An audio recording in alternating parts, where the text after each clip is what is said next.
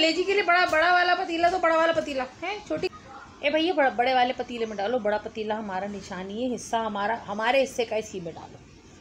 क्यों लेके आया मोहल्ले के बच्चों को? जा उनको भेज अपने घर में मोहल्ले में। उनके घर में गोश्त कट रहा है तो हमारे घर में क्या केक कट रहा है? तो वैसी बारिश इतनी हो रही है गोश्त लाइट अलग चली गई है गोश्त का समझ नहीं आ रहा क्या करें?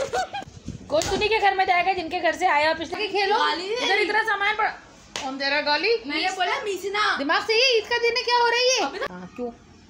अरे सात हिस्से होते तो किसी को मगज देते किसी को कलेजी दे। हमारे कोई कलेजी नहीं खाता। हमारे मगज मगज बनवाए जिसको बनवाना है। अरे भाई किसका बच्चा है ये? तब बदतमीज। हटाए बच्चे अपने। भाई क्या कर रहे हो यहाँ? सर जिनके घर से थोड़ा गोश्त आया था अब उनके घर तो छिछड़े भेजेंगे। पाए पाए क्यों? हमारे दो हिस्से हमारे पाए पाए दो हमारे होने चाहिए। जाओ यहाँ से भाई। अब अगर यहाँ बॉल आई ना तो फिर देखना तो। मैं यहाँ काम कर रही हूँ। ये बड़ा वाला बोटा अलग करो। बॉन्ग अलग करो। को ले जाओ इधर से। जाओ यहाँ से। चापे अलग रखवाना। चापे कितने मिक्स करा दी गोश्त के अंदर? अब ये बॉल आई ना तो मैं इसको छुरी मार के फाड़ दूँगी। चप्पल देना मैं इसको सही करूँ अभी। जाके खेलो उधर। गाली दे रही उधर जा।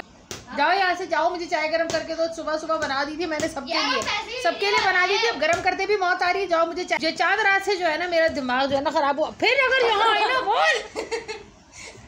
जाओ को बोलो सारा तैयार है, रोटी लेकर आए, उठ जाए। ईद का दिन है, आज भी पड़े सो रहे हैं।